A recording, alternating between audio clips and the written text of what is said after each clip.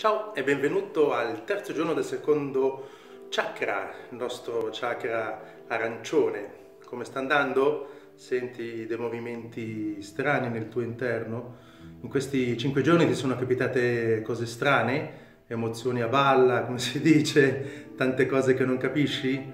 Beh, energie sottili, il lavoro su se stessi, eh, e, anche questo, ci sono anche, vengono chiamate crisi di guarigione, no? Alla fine certe cose che prima accettavamo adesso non le sopportiamo più e dobbiamo rispondere, dobbiamo dire di no a questa parte della nostra vita e possiamo accettare quell'altra parte eh, forse più consona a noi. Questo è un po' il lavoro che, fai, che puoi fare col Reiki e il lavoro che si fa a livello energetico con, con i chakra, con i meridiani, con i nostri campi aurici.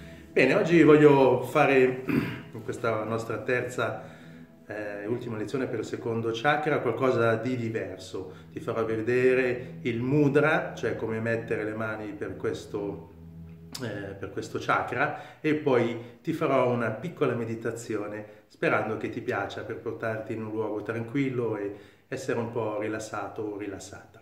Ma prima di fare questo ti voglio ricordare che sono un professionista da 20 delle Reiki, da 22 anni lo pratico con passione, oserei dire, dai, si vede un po' anche nei miei video, no? C'ho questa cosa proprio che mi piace, mi piace, al di là di come vadano le cose, mi piace farlo, insomma.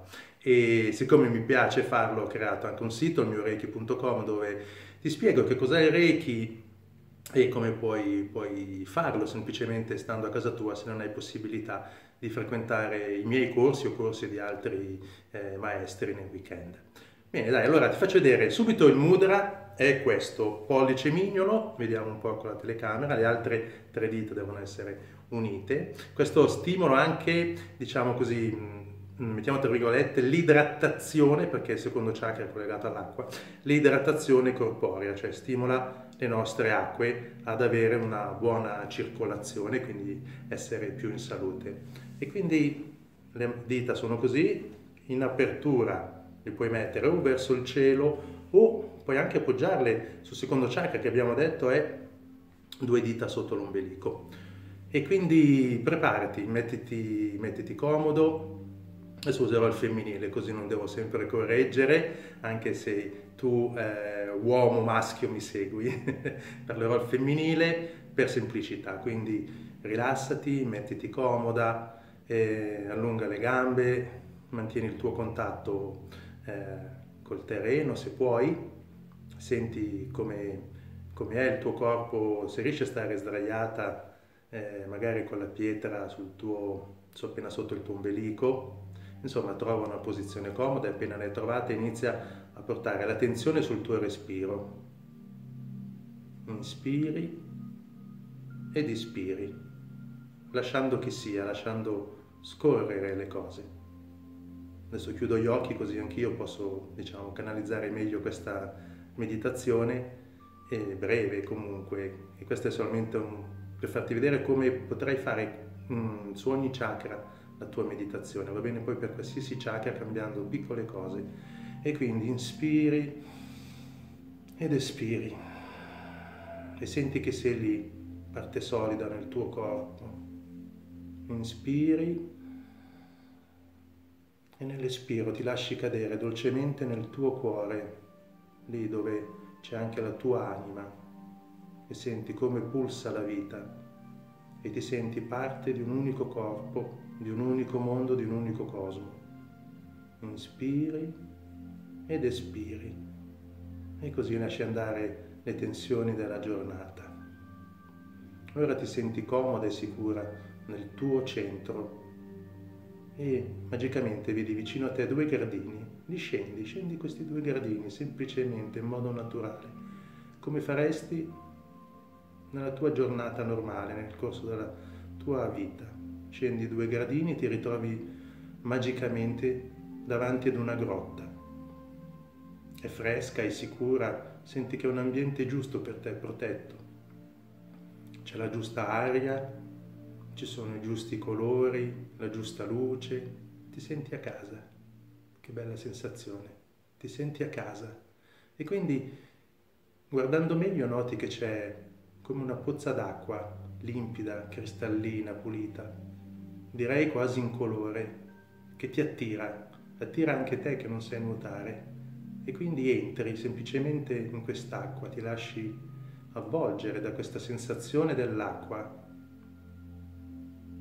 Senti come non fai fatica a nuotare, è l'acqua stessa che ti spinge a nuotare, c'è un'energia dolce ma forte dentro quest'acqua.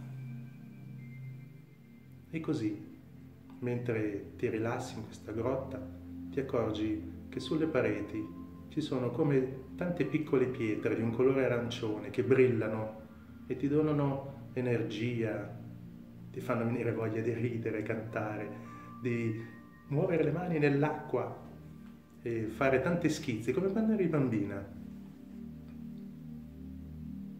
E stai in questa sensazione piacevole.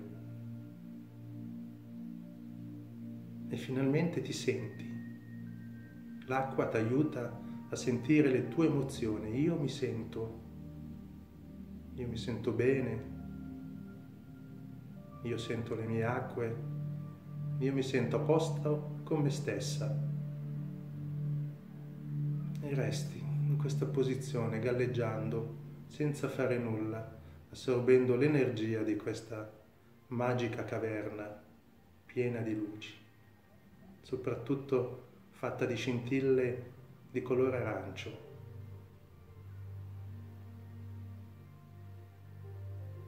E così, adesso che hai fatto questo pieno di energia, esci da questa pozza magica, fai i due gradini e ti ritrovi nel tuo cuore.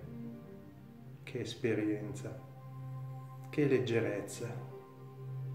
E semplicemente con un paio di inspiri profondi e stiracchiando il tuo corpo, apri gli occhi e torni qui presente.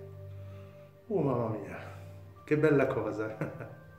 Mi è piaciuta pure a me, non, non sarei voluto tornare indietro, ma l'ho fatto perché altrimenti il video diventerebbe lunghissimo. Beh, questo è un modo di meditare che faccio durante i miei corsi, tramite la visualizzazione, meditazione guidata, Vedi tu, puoi stare in silenzio o puoi seguire questo tipo di meditazione e te lo puoi creare per ogni chakra, anche per il prima che abbiamo fatto, la grotta sarà sempre con l'acqua, ci sarà il colore rosso e, e così. Prova, sperimenta, vedi se ti piace, fammi sapere se ti piace con un commento e veramente di cuore ti dico grazie per seguirmi e soprattutto grazie per esserti messa in gioco per fare questo percorso che definirei di 21 giorni anche di crescita per te. E quindi a domani con il prossimo video e il nostro terzo chakra. Grazie.